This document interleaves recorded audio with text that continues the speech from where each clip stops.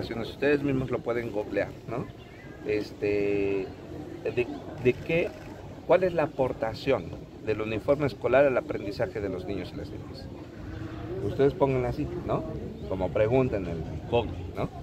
Se van a encontrar que no existe ninguna aportación. Hay dos elementos solamente que hacen que prevalezca el uniforme en países como el nuestro.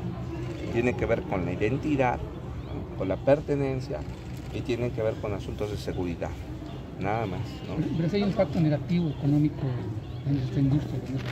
Eh, no, no, no lo va a haber, al contrario, al tener el próximo ciclo escolar, el 23-24, un solo uniforme, que pondremos de acuerdo en estos, este primer medio, eh, este último medio año, primer eh, medio año de ciclo escolar, este, vamos, al tener solo un uniforme, solo uno, entonces todos los fabricantes van a poder eh, confeccionar el mismo tipo de uniforme para todas las primarias, para todos los preescolares.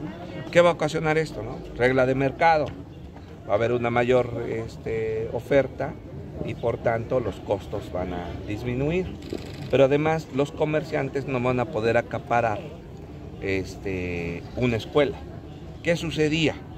Que una sola escuela convenía con un solo proveedor y ese proveedor era, digamos, propietario de la concesión, de ese uniforme, de esa escuela.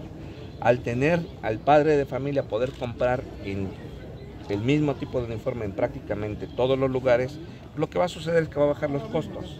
Entonces los uniformes del ciclo escolar este, 23-24, pues los vas a poder encontrar en todas las tiendas, en todos los comercios, con todos los este, textileros y pues eso evidentemente va a bajar el costo.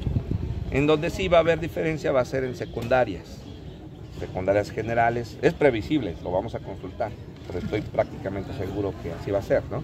Secundarias generales seguramente van a preferir un, un uniforme con tonos verdes, secundarias técnicas con tonos cafés y telesecundarias con tonos este, azules. Lo mismo en media superior.